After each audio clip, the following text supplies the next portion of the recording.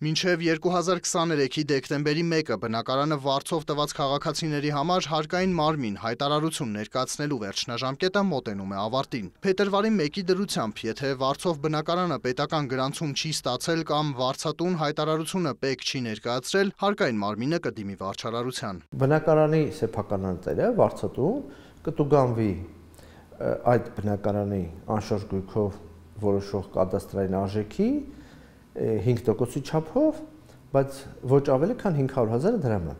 1 տարվա ընթացքում կրկնվելու դեպքում դուք կկազմի 10% կադաստրային արժեքի բայց ոչ ավելի 1 միլիոն դրամ է։ Դեկտեմբերի 1-ից հետո վարձակալության տրված բնակարաների դեպքում հայտարարություն տրամադրելու համար հնգորյա ժամկետ է սահմանված։ Հայտարարություն չներկայացնելու եւ հայտնաբերվելու դեպքում կրկին տուգանքներ կկիրառվեն նույն տրամաբանությամբ։ Օրենքի պահանջ է, որ վարձակալության դեպքում տան սեփականատերը պետք է հարկ վճարի, սակայն մինչև դեկտեմբերի 1-ի փոփոխությունները շատերը խուսափում էին հարկերից պատճառաբանելով, թե ժամկետը հաջորդ տարվա մայիսի 1-ն է եւ մինչև այդ ժամանակահատվածը համապատասխան գումարը մուծված կլինի։ Դեկտեմբերի փոփոխություն հաստատություններից հետո արդեն 5 օրը առավելագույն ժամկետն է գործարքը օրինականացնելու համար։ Պեկում փաստում են վարձատուների վարկագիծը նկատելիորեն փոխվել է։ Այս պահի դրությամբ դեկտեմբերի 1-ից մինչև հիմա հայտարարությունների քանակը մոտ 9000 է։ Դա ավելի լավ ցուցանիշ է, քան 22 թվականի համար հայտարարություն ներկայացված ֆիզիկական անձանց քանակներ։ Հայտարարություն ներկայացնելը առավել հարմար կլինի օրավարձով կամ ամսավարձով բնակարան տրամադրողների համար։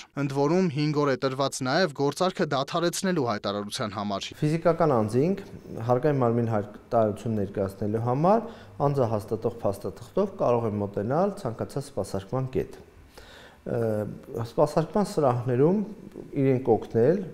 որպեսզի ստանա հարկ վճարողի հաշվառման համար որից հետո կարող է ներկայացնել հայտարարությունը վարձակալական գործարքների մասով։ ՀՎՀ ստանալ եւ հայտարարություն ներկայացնել հնարավոր է նաեւ առցանց։ Անհրաժեշտ է գրանցվել e-request.am հարթակում, անցնել հղմամբ եւ ՀՎՀ ստանալու համար դիմում ներկայացնել, որը կուղարկվի էլեկտրոնային հասցեին։ Հաջորդ քայլով անհրաժեշտ է անցնել մյուս ակտիվ հղմամբ, լրացնել հայտարարությունը եւ ուղարկել ՊԵԿ։ Կոմիտեից վստահեցնում են օպերատիվ հետախուզական բաժնի աշխատակիցները հնարավոր բոլոր տարբերակներով ճշտելու հայտնաբերելու են չհայտարարված վարձակալության դեպքերը։ Այս ժամանակ կորուստը պարտաճանաչ մուծված հարկի համեմատ տասնապատիկ անգամ ավելի կլինի։ Մուշեղ Իսախանյան, Հովանես Քյոսեյան, լուրեր